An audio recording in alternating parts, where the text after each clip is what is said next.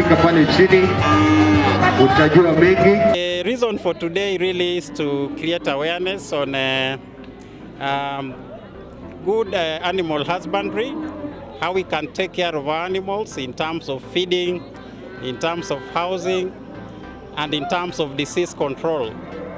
Uh, we carry out uh, some disease control measures, uh, particularly vaccination.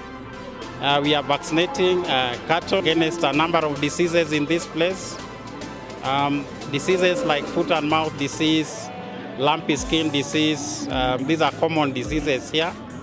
We are also vaccinating dogs against rabies. Uh, it's a common disease in the country, and uh, as a country, we have a control strategy um, which we intend to use to eradicate um, rabies in the country at least by 2027. Uh, What we have here is basically a campaign uh, to improve or, or to manage population in uh, domestic dog and cats.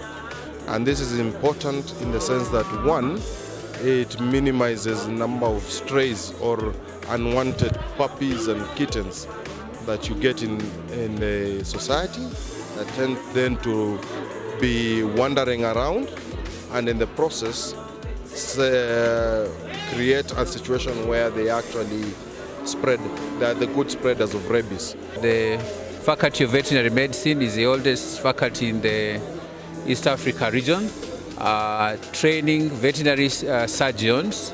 So far, we have uh, approximately 3,000 veterinary surgeons, and at the moment, we are expecting to graduate 84 uh, veterinary surgeons in September this year.